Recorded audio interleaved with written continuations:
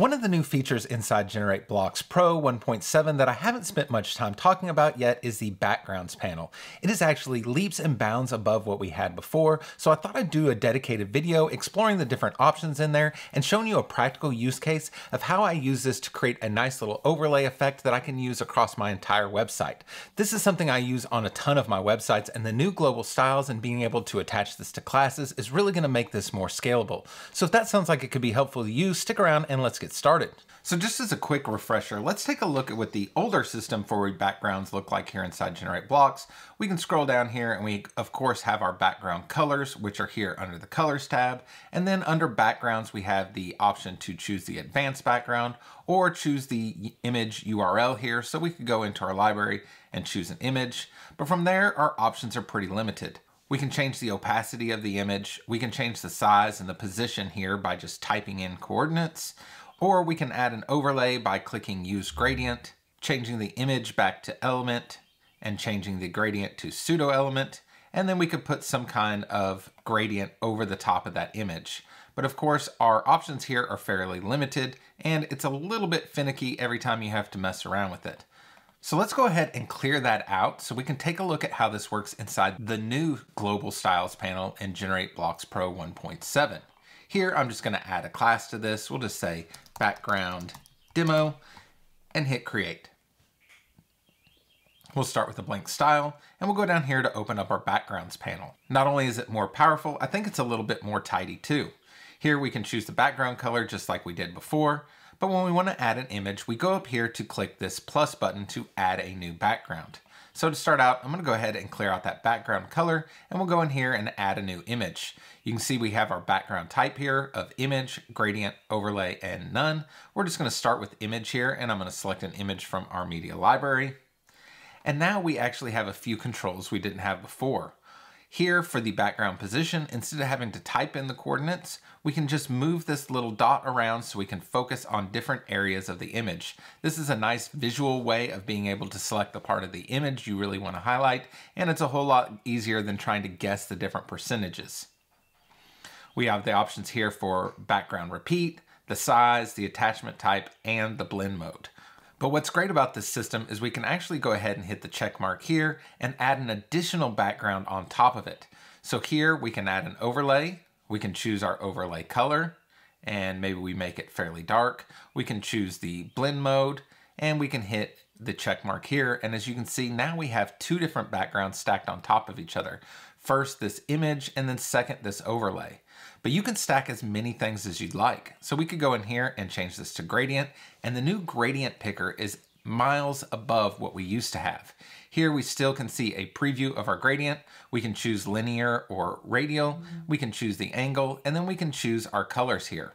So let's go ahead and choose maybe a blue and a lime green just to make it really apparent. That has some transparency on here, so I'm gonna boost it all the way up.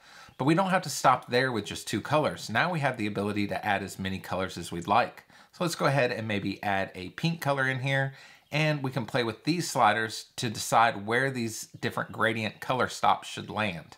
So maybe we get this green one right in the middle and we go from blue to green to pink. Now we can use this blend mode control to actually show through to the image underneath it. Of course, you might need to play with options to see what works best for you, but you can create some really cool effects using just these simple controls right here inside the builder. Like I said, the new background section here inside the global styles is miles above what we had before. But let's talk about a practical use case. When we did this just now, we actually attached our background image to this class. So let's add a new section here. And let's say we want to do the same style, but in this section, we need a different background image. Well, if we go in here and add our class that we just used to create that background demo, we can see that same image came across. And if I go in there to edit that, we'll go into backgrounds, we'll edit that image and change the image out. You can see that's going to change the image out everywhere it was used because that image is actually attached to the class. A more practical use case would be detaching the image so we can use any image we want, but keeping the same filtered look on top of the image. So let's take a look at how we can actually do that.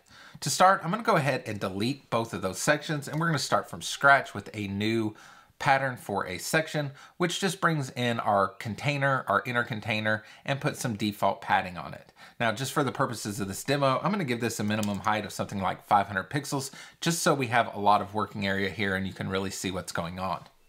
So instead of adding the image to the class, I'm just gonna use the block level stylings to add the background image. So here we're just gonna scroll down under backgrounds and we're gonna choose the background image.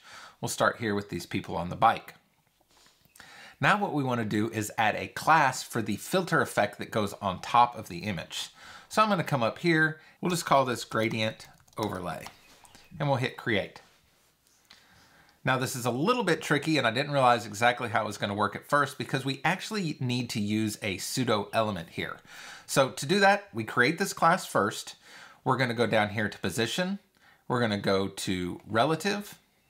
And now we're gonna click this more drop down so we can get to the after pseudo element. We do that by clicking the new button. And then here under pseudo elements, we can choose after and hit create.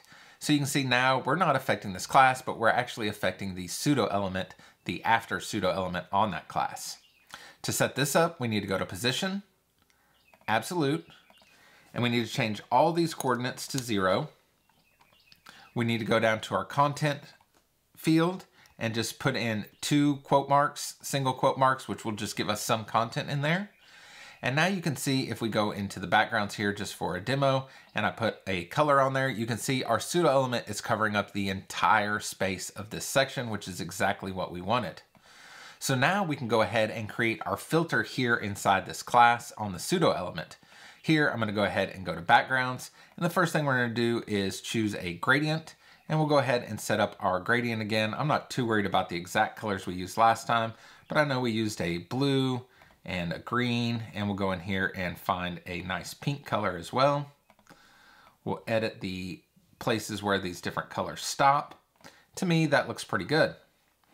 The next thing we're gonna do is add an overlay on top of that, just because that color might be a little bit bright. We might not be able to put text on it comfortably. So I'm just gonna add a built-in overlay here, just with some black to darken that up a bit, so I, I know I can put white text on top of it maybe something like that. Now we actually need the image from behind it to shine through.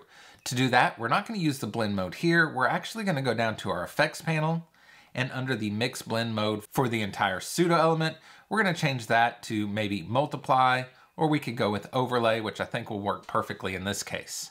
So now you can see that gradient is shining through with the image and we have a little bit of an overlay on it so that we can still see white text on it. But the real question here is, are we able to easily swap out the photos and keep the same style?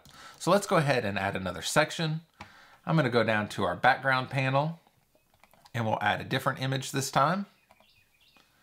And now we'll just choose the gradient overlay class, gradient overlay. And you can see we have our same effect coming in here, but with a different image. So this is perfect for if you want to set up hero sections or backgrounds that change the content, the image in this case, but keep that same filtered effect on top of it. As you can see, this new system is a whole lot more powerful. The only thing I don't love about this setup is we're still having to use the old controls for the block level styling, so we can't position the focus point of our element with the cool little visual way like we can inside the class. So for now, we still have to type in coordinates, but it's my understanding that the controls that are inside the global styles now will get migrated eventually into the block level styling, so we have some continuity between all those controls. Hopefully you learned something new in this video. If you did, I would really appreciate a thumbs up, and if you want to make sure you keep keep up with all the latest from GeneratePress and GenerateBlocks, go ahead and hit subscribe, and we'll see you next week. A couple quick bonuses for those of you who stuck around to the very end of this video. There are a couple things I wanted to point out here that I failed to do during the course of the video. One is when you have multiple backgrounds here, you can actually reorder these by just dragging and dropping. This is really handy as you're playing with the different effects and you might have multiple layers of backgrounds. I also would give you a word of caution that you don't want to add too many of these different backgrounds on here or you can start having trouble with performance. The other thing I wanted to mention, and I don't believe this is new inside GenerateBlocks Pro 1.7, I think this has been around for a while, but not everybody knows about it. You're used to being able to put in hex colors in here or choose from different colors in your palette, which uses the variables from your theme. But did you know you can also use other color models? If I go in here and grab this RGBA color, I can paste that in here and that will work. Or I could grab the HSLA, we'll just change this color here, copy this, and paste it into the background here. And this HSL color also works inside the color picker. If either of these things were new to you, I'd love it if you put bonus in the comments just so I know how many people made it to the end of the video.